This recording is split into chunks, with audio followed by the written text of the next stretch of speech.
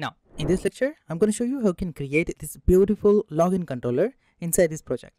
I'm going to show you how you can validate the input of the user login inside this project. So let me just back to my router and you can notice here, I have the type of request which is get. Now when you make a login, that is not a type of get request. That is the post request. You're posting a data to the server so the server can authenticate the user. So instead of get, here I'm going to change the get request and specify here post. And this time I'm going to post some data with this request. I'm going to leave everything as it is, save this file back to my controller and here I'm going to create this controller. So just up here, I'm going to first get the data from the user when the user make a post request. So here I'm going to create a command and say get user data.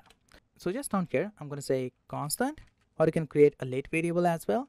I'm going to create here a constant variable and say here in the object email and password. And I'm going to get these values from request.body. As you know, in the previous lecture, we understand how you can get the values from this request.body object. When you make a post request, we're going to pass data to this body and I'm going to get that data inside this variable using destructuring feature of JavaScript.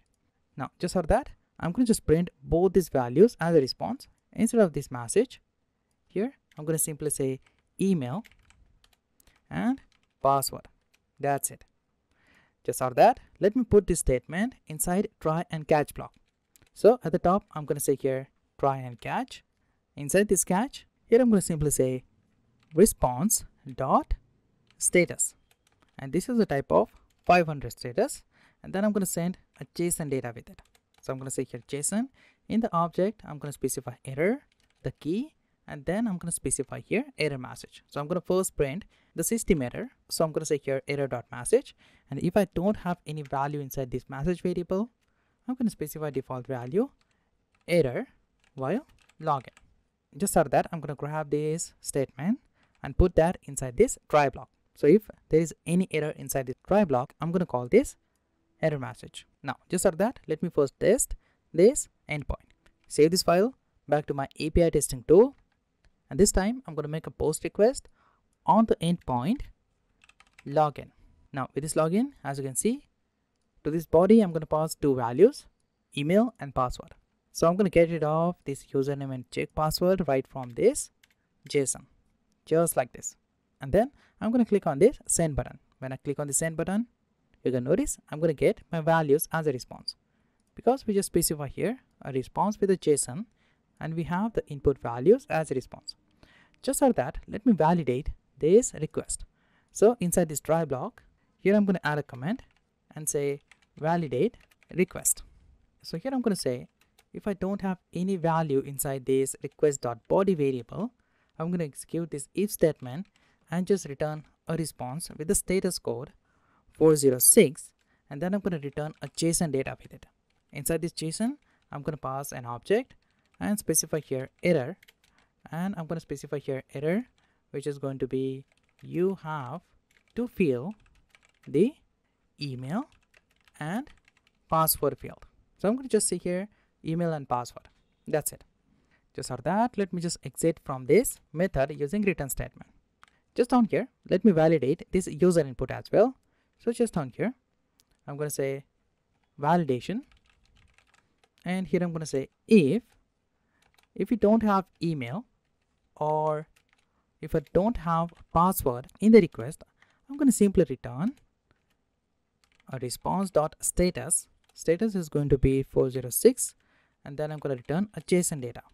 And this is going to be the error. So I'm going to specify ERR and in the double quote, I'm going to say not all fields have been entered. That's it. Now let me just save this file and open my Postman testing tool. And now let me just check this validation. What if I get rid of this email right from here and if I make this request, I'm going to get an error message. Not all fields have been entered. Let me do the same thing for this password. If I get rid of this password and make this request, I'm going to get this same error because we have the empty password field here. Now, just for that, as you know, inside your package.json file, we have different scripts. When you want to start your backend server, you need to execute this server command. And when you want to start the client server, you need to execute this start command. Now what I want, at the same time, I want to start my backend server as well as my client server. To do that, I can use a simple module called npm run all. Using npm run all module, I'm going to start the client and the backend server at the same time. Let me show you how you can do it. So I'm going to open my terminal. Let me just stop the development server. And right now I'm going to install a module npm i for install. And then I'm going to specify a module name npm run all. And then I'm going to specify here hyphen d to install this module as dev dependency. Now, once you have this module, let me clear the screen, close this terminal, and you can notice here to start the React application, you just simply say here npm start. And this command is going to start and execute this start script. Just so that, as you know, to execute the server, you just simply specify a command npm run server. So this statement is going to call this server command. Now what I want, I'm going to combine both this statement into one. So just out of this server right down here, I'm going to create another script and I'm going to name that start react. And then I'm going to specify here a script. So I'm going to copy this start script and specify that.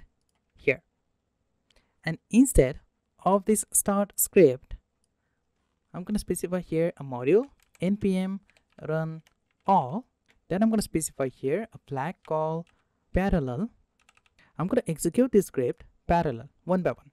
So here I'm going to first start my server and then start the client server.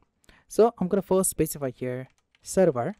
Inside the server, as you can notice, I'm going to have a script nodemon server and server.js file. And just out of that, I'm going to specify this start react script just after this server like this. Let me save this file and now let me just execute a command here npm start. When I press enter, this will just start the server as well as my client development server. You can notice.